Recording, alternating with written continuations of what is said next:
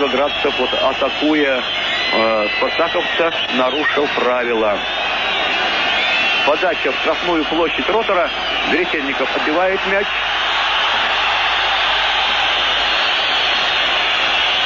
Вот сейчас мне принесли